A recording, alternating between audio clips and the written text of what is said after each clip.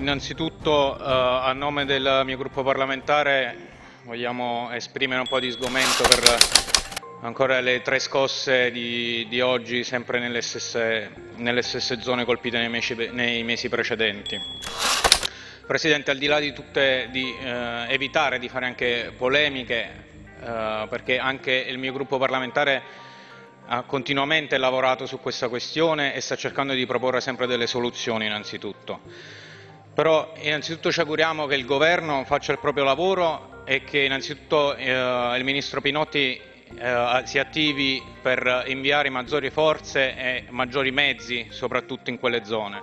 Se i terremoti non sono prevedibili, la neve sì, quindi su questo ci permettiamo di dire che eh, non, si lavorato, non si è lavorato benissimo. Eh, intervengo per denunciare la situazione vergognosa che sta vivendo purtroppo ancora in queste ore la regione Abruzzo, eh, dove è bastata un una nevicata un po' più intensa del solito per mettere in ginocchio un'intera regione. Addirittura si parla di un blackout che ha coinvolto per la missione della stessa Enel più di 40.000 utenze, probabilmente 200.000, forse ancora di più, cittadini che da 48 ore sono senza energia, sono senza riscaldamento e sono anche senza acqua.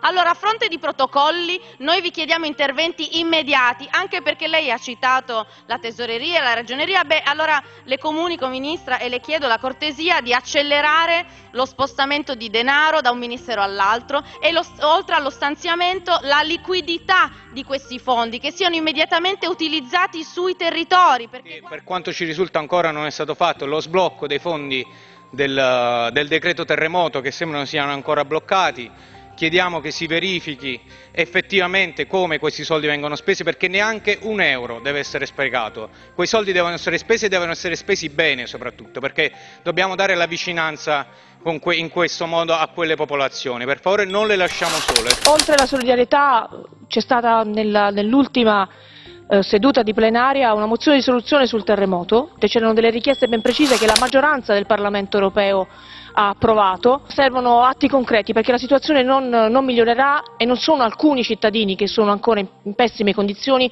ma è la stragrande maggioranza della popolazione del centro Italia. Allora, in questi due giorni abbiamo fatto una cosa eh, meravigliosa, abbiamo aperto i cantieri di lavoro sul lavoro, abbiamo, abbiamo delineato uno scenario di quello che sarà il lavoro da qui a dieci anni. Ebbene, adesso il futuro ce l'abbiamo in mano Ce l'abbiamo in mano, nelle nostre mani e è compito nostro della politica adesso accompagnarlo e modificarlo con l'azione politica.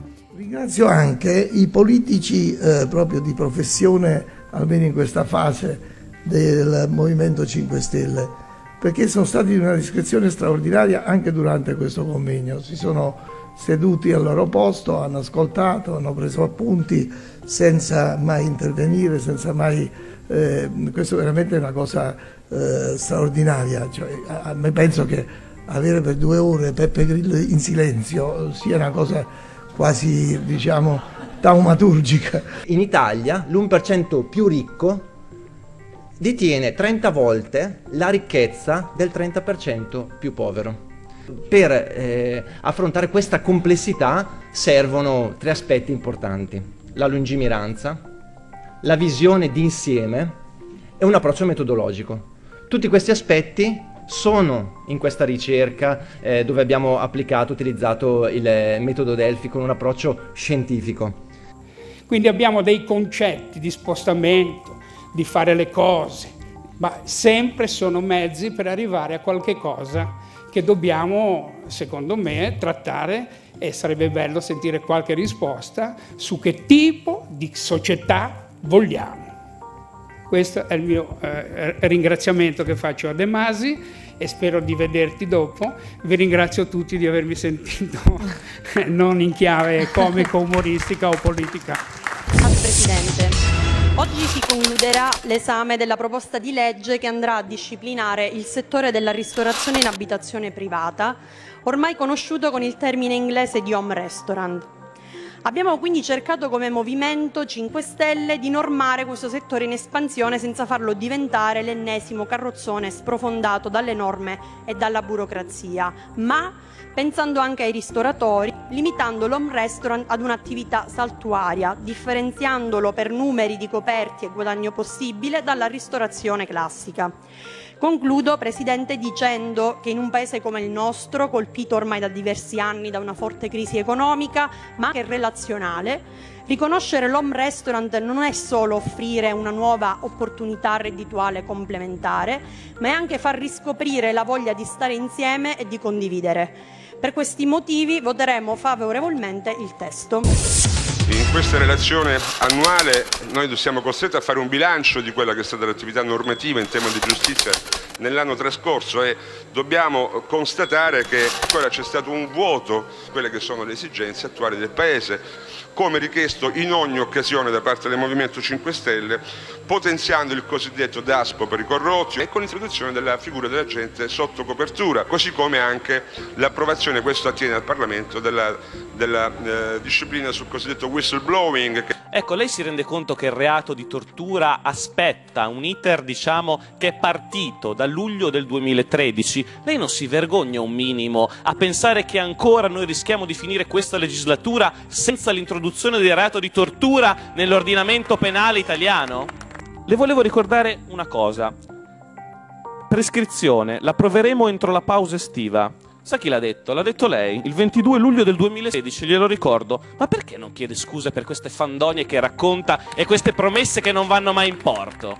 Quando ci inventiamo le statistiche per farci belle, per far vedere che qualcosa funziona, poi però andando ad analizzare le statistiche scopriamo che è insomma una truffa semantica.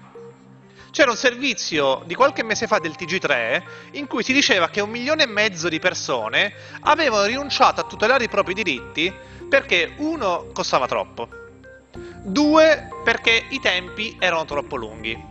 Ora io sinceramente bearmi del fatto che un milione e mezzo di cittadini rinunciano a tutelare i propri diritti non lo farei mai. L'unica cosa che ne abbiamo chiaro da, vostro, eh, da queste vostre risposte di oggi, nonché dalle parole di Minniti, in questi ultimi giorni in giro per il mondo è soltanto una, che avete un solo interesse, riattivare la vostra mangiatoia legata ai CIE, ai CARA e all'accoglienza che ci ha già descritto Mafia Capitale e dove le vostre cooperative, quelle di sinistra come quelle di destra, e mi verrebbe da, vorrei avere qui Alfano per parlargli del CARA di Mineo, avete mangiato per anni e vi hanno anche beccato con le mani nel sacco, questo è l'unico interesse che avete qualunque cosa sarà approvata non sarete in grado di realizzarla. Per questo noi ci asterremo su tutte le proposte presentate oggi, perché la strada ve l'abbiamo già tracciata due anni fa quando eravamo inesperti e oggi ne parlate anche voi senza riuscire a realizzarlo. Non servono altre chiacchiere, serve solo capacità politica e voi non l'avete.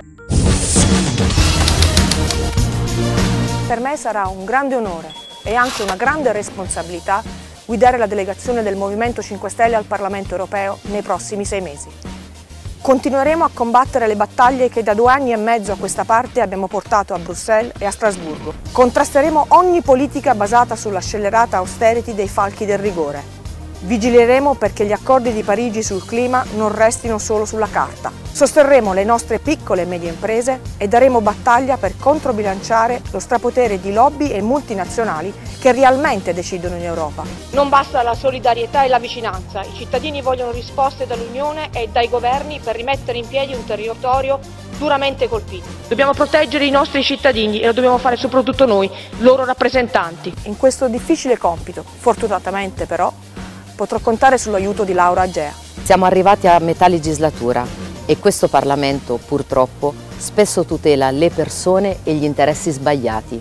Questi sei mesi ci vedranno sempre dalla stessa parte, quella dei cittadini, l'unica lobby che il Movimento 5 Stelle riconosce e tutela. Il gruppo parlamentare vogliamo esprimere un po' di sgomento per ancora le tre scosse di, di oggi sempre nelle stesse, nelle stesse, zone colpite nei mesi, nei mesi, precedenti. Presidente, al di là di tutte, di eh, evitare di fare anche polemiche, eh, perché anche il mio gruppo parlamentare ha continuamente lavorato su questa questione e sta cercando di proporre sempre delle soluzioni innanzitutto.